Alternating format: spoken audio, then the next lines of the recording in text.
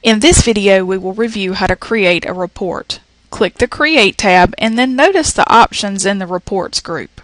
If you need a quick report, simply click on the query or table desired and then click the Report button.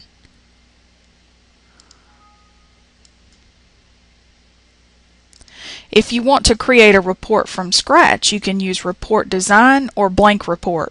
Blank Report opens in Layout View. Report Design will open a blank report in Design View.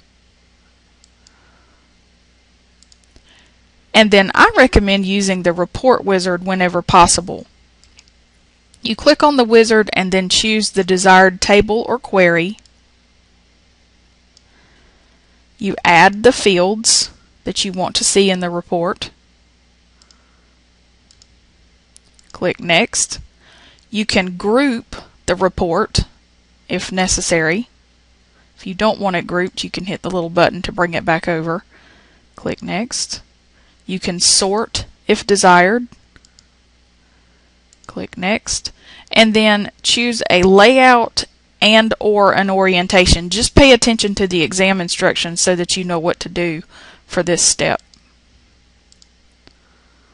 Click Next. And then finally you want to give your report a name.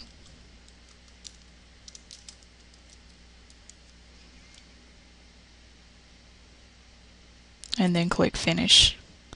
And you can see what it looks like. You can go back in to Design View to make changes. Make sure you save the report after making changes. To delete a report, you simply right click on it and click delete, then click yes. And then lastly, we want to look at creating a report with application parts.